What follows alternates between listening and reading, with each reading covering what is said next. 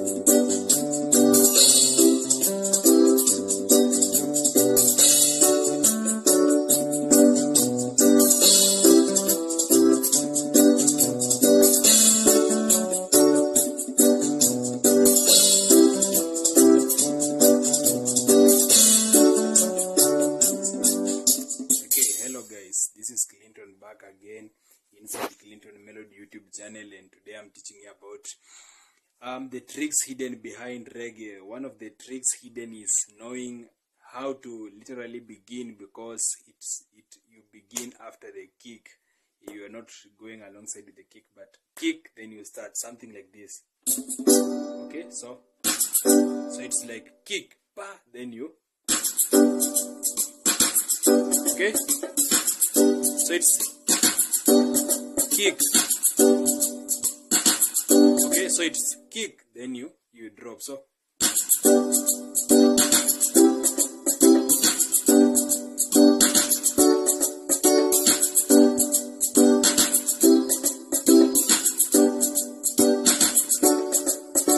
Okay so you you need to really time the beat that is one of the one of them the, the, the secret hidden behind reggae so i know this side there is nothing more other than just playing you know just that way even if there is a minor chord like a six you just play it even if there is a minor chord like a two the, the, the, the method is the same provided you know the, the right chord to, to, to, to press on. So that is basically um, how we do the right hand side. The right hand side doesn't have a lot of things. What you need to invest on is the bass line because that is the music. Reggae is about the bass, what you're going to do on the bass. And many people have been asking me, how do you construct um, reggae bass lines or how do you play something good when you are playing reggae so on the left hand side for your bass you really need to be very creative and one of the ways that will give you the creativity use the chord that you are playing on the right hand side so if you, on the your right hand side for example you are playing your one i'm in the key of f sharp guys i'm in the key of f sharp so this is my one eh? so i can just play the same thing on my bass side the only difference will be that I will not be playing it as a block chord, but I can arpeggiate it. You see? Then when I go to my 4 again, I just play. Back to 1. 5. My 5. So, okay? So I'm just playing the exact thing I'm playing on the right is what I'm playing on my left. But now on my bass side, I'm just arpeggiating, I'm breaking it down like I'm playing single notes. One, then four, one, five. And you can even choose to use inversion. So for your one, you can also do four, five. Okay, so you, you, you can play along with alongside inversions and they will give you the, the best of it all. So on my one, what I can do just do is uh, I can just do it. I can press it twice, then I play the rest once.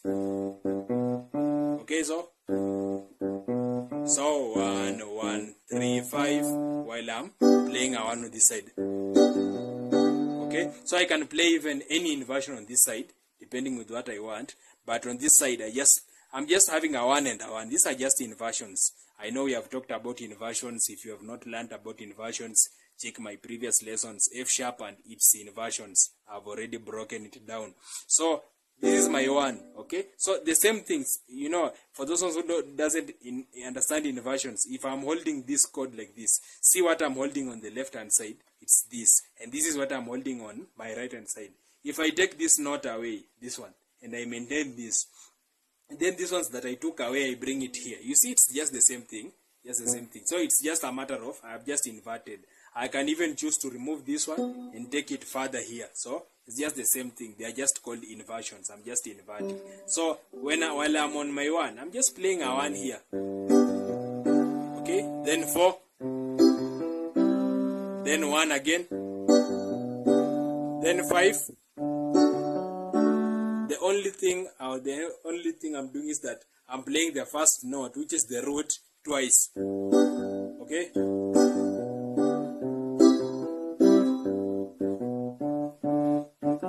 So the root twice, the root here again twice, which is which is my four, the B. Again, the five. That is exactly the entire thing that I'm doing over it, and that is how you start becoming creative with playing uh, reggae bass, reggae, reggae bass lines. So.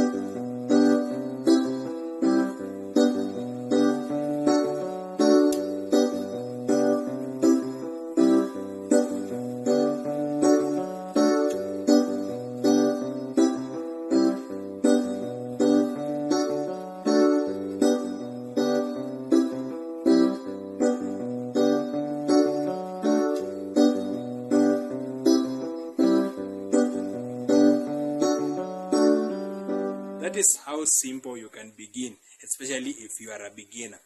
Then another thing, you can to do in inversions eh, for the bass. So the, the, the, the same thing I was just doing, you know, I can decide to do it here on this inversion, but I just begin with the root. Okay? Okay? I just maintain these two. Remember, we are playing this. So I just maintain these two and come back. So I begin with the root. Then this is my 4. So if I invert it, I get this. So I just begin with. Okay, then again 1. Then I can play a 5. A 5 here, which is a.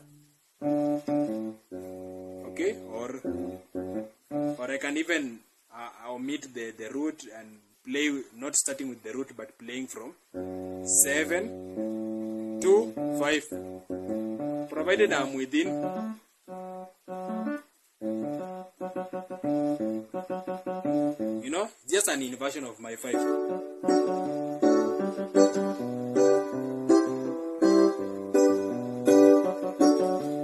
okay you can even choose. This is your 5 and you have your 5 here. You can invert it and just play. Okay this is your 4 you can play. Or. Or. Or something like that you, you just become creative. Just use the notes that you have. Don't even add an extra note. After you have learned that you will learn more other things to, to follow. So you see i can do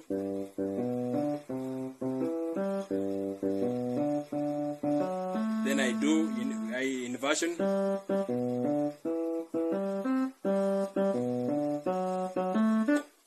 Okay, then besides that, I was just playing it here. I can reverse now, reverse what I've been playing here, and now start from. Okay.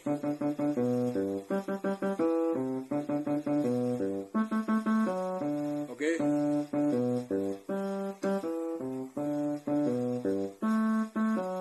okay i can just reverse what i've been playing so you see i'll just now play this note twice while i'm on my one then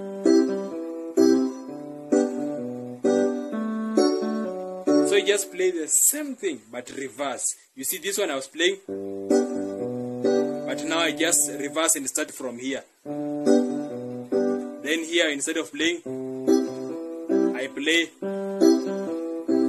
Then then on my 5 instead of playing going forward i play it backwards. Okay?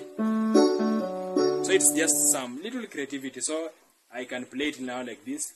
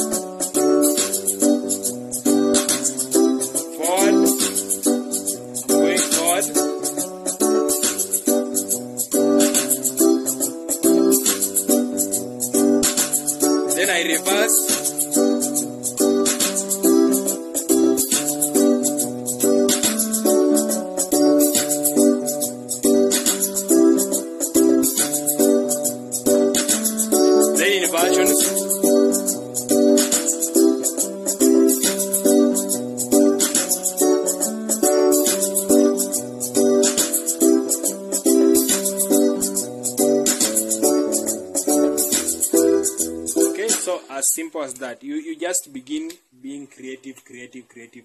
I'm going to teach you more other methods, but let's start with these ones for beginners, and God wanna bless us. May you have a very good day.